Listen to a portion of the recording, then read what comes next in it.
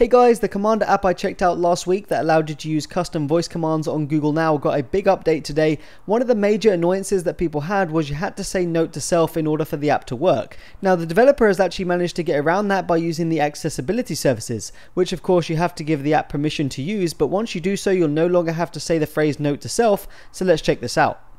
Okay Google, turn on flashlight. You'll notice it's also a lot quicker and yep, the flashlight is on. Okay Google, turn off flashlight. So it just feels a lot more natural to use now without the note to self phrase. Other improvements include faster recognition and it also works offline. Okay Google, turn off Wi-Fi. And yep, my Wi-Fi is off, my data is about to be turning on. Okay Google, turn on Wi-Fi.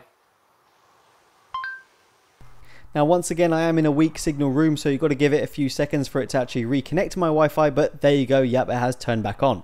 If we quickly jump back into the application, he has actually included the note to self phrase if you do still want to use it. If you don't quite trust the permissions that the application needs, you can still use that. And of course, you can still use all the built in commands and also all your tasker commands as well. So, yeah, I think this is a massive improvement to this application. I think this will make a lot of people happy.